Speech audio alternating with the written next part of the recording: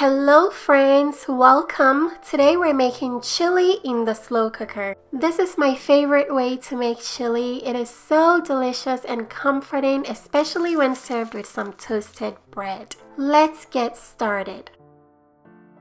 I have my pan heating up over medium heat. We're going to start by cooking some ground meat. I'm using a mixture of ground beef and Italian sausage. Use a spatula to break the meat apart completely, then season with salt and black pepper to taste.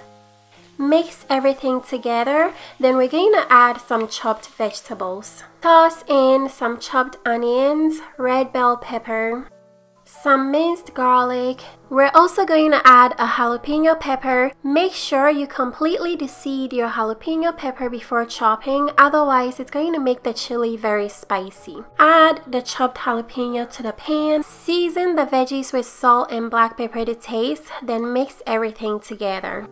Let this cook for 2 or 3 minutes for the vegetables to release some flavor, then transfer the mixture into your slow cooker.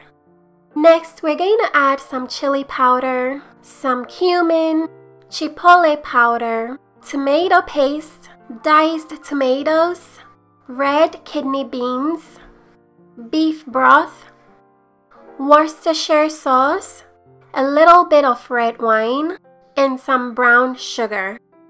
Go ahead and mix everything together. Taste for salt and add more as needed. Once everything is very well mixed in, place the slow cooker lid on.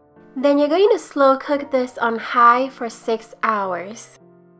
After 6 hours, this is what the chili looks like. It smells so delicious. You can serve this with some cornbread or grilled cheese. I'm going to serve me a big bowl. It's so cold outside, so I can't wait to enjoy this. This is going to have your home smelling good all day long.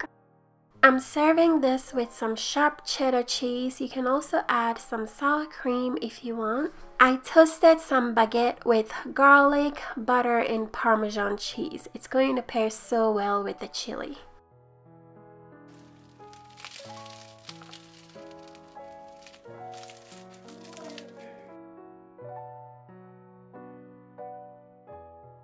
This chili came out so delicious. I hope you guys try this for the cold winter night. If you want the ingredients and measurements, check the description box.